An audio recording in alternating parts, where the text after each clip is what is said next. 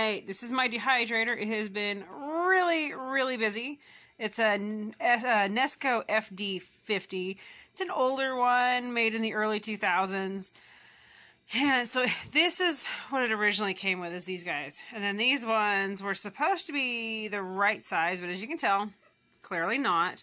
It's getting harder and harder to find the parts and pieces for this one. I'm just trying to make do. Anyway, it's been really busy for me. Um, we just did a bunch of dehydrated goodies. This is pumpkin cake. And this is mini muffins and then some pumpkin cake. And let's see. More pumpkin cake. Let's see, what was that? Oh, a little bit of pumpkin cake in there.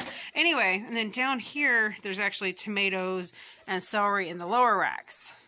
But I'm going to have John come in here and taste test either the pumpkin cake bread or the mini muffins, whichever he decides to choose for you guys. But it's you know, besides dehydrating fruits and vegetables, you can do a lot of other things. And these are great. So they're they are hard like a cracker, I guess. Um, they are hard.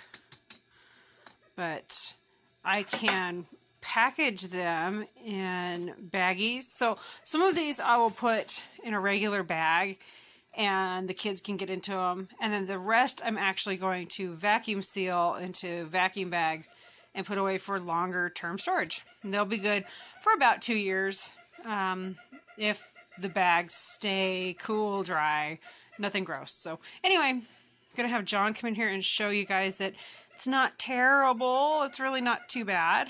Kids, kids will eat it. Husbands will eat it. so these are going to be handy for camping and hiking and fishing and hunting, you know, just a quick take with you type item. All right, John is here to do some taste testing live for you guys. Well, live when you see it. He's going to try the pumpkin bread. Does it smell like pumpkin bread? Yeah?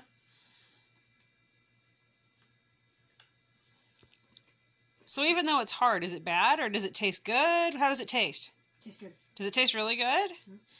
Do you like it now? Do you like that flavor better now or when it was fresh?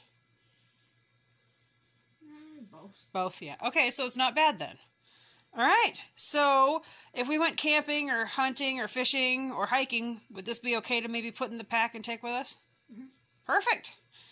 Well, it's a win, everybody. There we go. Pumpkin cake. It's dehydrated, and then this one is vacuum packed for future use. It's ready to get put away. Oh my gosh, so my counter's getting kind of crazy. I just vacuum packed the pumpkin bread and the little mini muffins, and then I've been bagging different, uh, this was, well, it's mixed fruit, like pears and bananas, and this, oh my gosh, tangerines. Those are so good. I know they look terrible, right? They look really gross.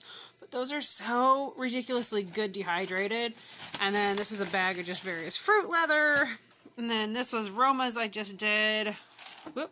And celery and Roma's down there. So gotta get all these bagged into their individual bags. And yes, some of them I don't vacuum pack. Like the fruit leather, we just go through it too quickly to vacuum pack it. It would be ridiculous to do that.